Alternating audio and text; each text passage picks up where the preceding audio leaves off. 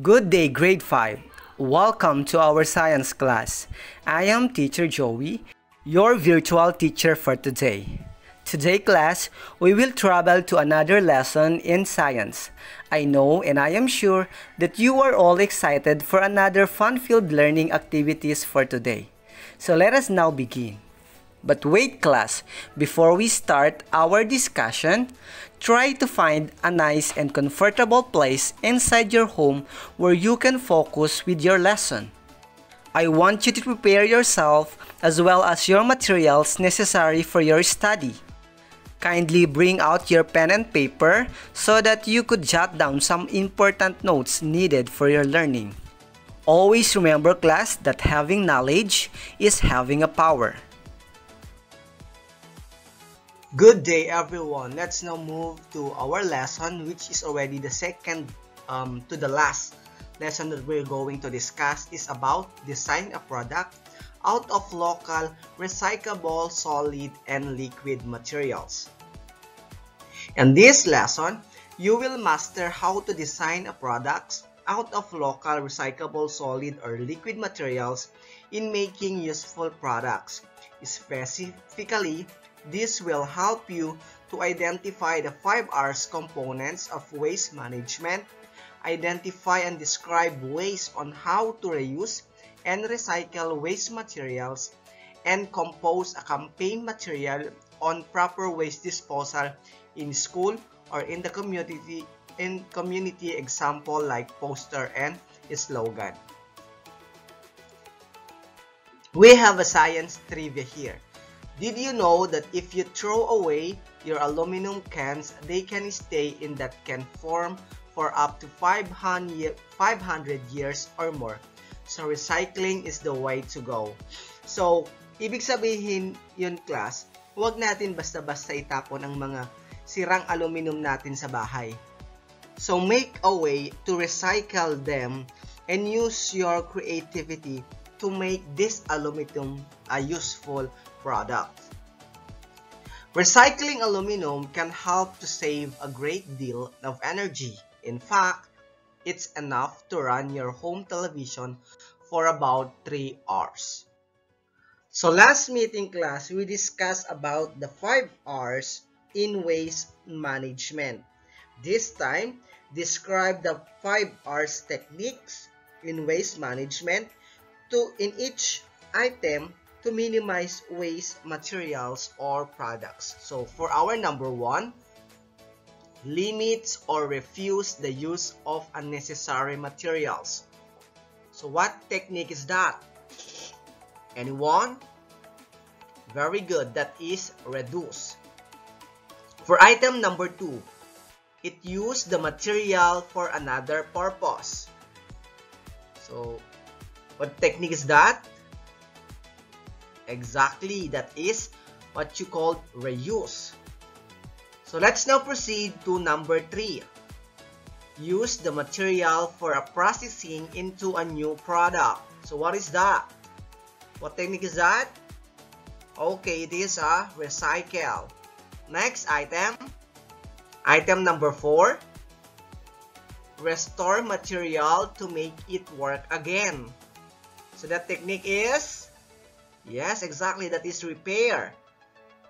And then for the last item, item number 5, it take back or restore what has been used to a new material. That is recover. I have a picture here class. What is shown in these pictures? Anyone? So this is a group of waste materials. It can be a non-biodegradable materials or a waste materials. So how can we manage waste materials? Why should we recycle these waste materials? And what benefits do we get from recycling? Before we can answer these questions, we should learn first what is what you call Waste management. Waste management is refers to the practice of proper waste disposal. In addition, It involves collecting, processing, and managing waste product with the goal of what you call zero waste. So yan yung pinaka-goal ng waste management para malinis lahat ng mga dumi sa ating mga paligid by means of what you call 5 R's techniques, segregation, and so forth and so on. Another one is that, what is this zero waste? So, ang zero waste, the conservation of all resources by means of responsible packaging, consumption, reuse, and recover of all products and waste materials without burning them and without discharges to the land, water, or air that threatens the environment or human health. So yan ang ganda nung, nung programa. Ang ganda nung purpose ng zero waste na ito. Kasi it helps a lot to make our environment clean and green. Another one, what is waste management? There are many ways or techniques to minimize waste of useful and valuable products. What are these? Ano kaya tong mga to? So just like what you called, it can be in the process of what you call sorting waste materials. And of course, we have what you call the 5 R's techniques. So waste management is we can design product out of local recyclable materials in making useful products. What are these useful products? We have plastics that can be turned into something new. Pwede natin gawing decorations, paglagyan ng mga accessories, at pwede ring pencil case. So that is an example. We have also, we can save our planet Earth from piles of garbage that can cause pollution if we know how to manage the waste of useful materials. Materials such as magazine, newspapers, bottles, containers, wrappers, snack packages, and the likes are only few recyclable materials that can be used again. We can make money from these selling waste materials and we have benefits in practicing the zero waste management on living things and non-living things. Diba? Pagkakakitaan mo pa yung mga patapon na bagay na yan kung we can make our own um, resourcefulness and creativity on how to make this um, patapon na bagay, this material, waste materials into making them a new product. So let's focus on what you call recycle. So recycle, it involves the collection and processing of materials that would be thrown away as trash and turns them into new product. So, why should we recycle these waste materials? And then what benefits do we get from recycling? So, masasagot na natin yan. So, recycle reduces the waste materials sent from dumping areas or landfill. It results to the conservation of our natural resources. Just like lumber, plastic bottles, water, and other minerals. It also prevents pollution by reducing the need to collect new materials. What items can and cannot be recycled? Almost all materials can be recycled depending upon its physical condition. Just like a dry and wet, fragile, and durable. Items that can be recycled include plastic bottles, newspaper or magazines, bottle jars, and clothes.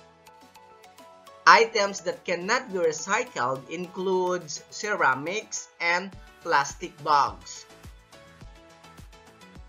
So it is important that we put the right thing in the recycle bin. So remember class that when we put the wrong waste in the recycle bin, we will waste a lot of time in sorting it. So do the right things and use the right bin. How can we practice proper waste disposal? We can practice through separating the biodegradable and non-biodegradable or we can also practice what you call the 5 R's technique. Just like we have the reduce, the recycle, the reuse, the recover, and the repair. Let's have an activity here about recycling. Now, what product can we make out of these recyclable materials when we have plastic bottles, we have newspapers, we have um, bottle containers, and we have clothes. So, design a useful product that can be made from any of the following recyclable materials. We have the plastic, we have the caps of plastic bottles, we have tin cans, we have clothes, and we have newspapers or magazine. So, um, out of this what you call plastic bottle, you can make use of this or you can make this one. So out of the cloth, you can make eco bags. Out of newspaper, you can make this of ball pen or what you call um, pen holder. When you have cups plastic cups you can make this vase of plants. So how to start in making a useful products out from the recyclable materials found at home? So take note of this ha para malaman nyo on how to make recyclable materials found at home. So be guided with the following the first one is to what material is readily available in your home. So, tignan nyo kung ano yung naka-ready, yung patapon na na bagay na pwede nyong gamitin. Next is, what tools should I use in making my recyclable product? So, alam mo dapat, pag nakita mo na yung, yung ano, yung item na gagamitin mong i-recycle, so you need to have your tools na ready to make a new product. So number three, what steps should I do in making my products? So magga-gather ka na ngayon ng data, paano mo magagawa yung product na yun na gagawin mo? And then number four, will be the product useful? And then number five, how will be my recycled product look like? So that's the important thing you need to know. So remember that you must create something useful out of those local recyclable solid liquid materials, so better plan it carefully. Class, what comes to your mind when you hear the word slogan or a poster? So later on, we will come up to make a campaign regarding about this um, proper waste disposal to make it to minimize zero waste management. So, ang slogan is a short and striking memorable phrase. A Slogan in waste management promotes techniques and practices that advocates proper waste disposal. Just like the, the example, don't trash our future, recycle. When you refuse to reuse, it's the earth you abuse. Put waste in the right place. So those are examples of what you call a slogan. So these are the tips in writing a slogan. The first one, keep your slogan short and meaningful. Number two, use a call to action words. Three, think about whom you are speaking or referring to. And then come up with as many slogan as you want and then choose the best one. Okay, how about poster? What is poster? So poster is a large notice or picture that you stick on a wall or board, often in order to promote something. Just like examples, we have this one, example of poster, this one, and this one. So that are example of poster. So tips in making a poster. Number one, your poster should attract attention. Two, make it simple and catchy. 3. Create your own fonts for poster design. 4. put ideas about proper waste disposal in using color and graphic elements. And then number five, maximize the space. So those are the tips already. So remember that through Recycle, we help our environment and we enhance ourselves on how to be creative and innovative in the place we are living. In addition, as an individual, we need to know the importance of taking care our environment and that is through recycle. So I know you are now ready to take this assessment. All you have to do is to read each item carefully, write through if the statement is correct and false if, if not. Good luck!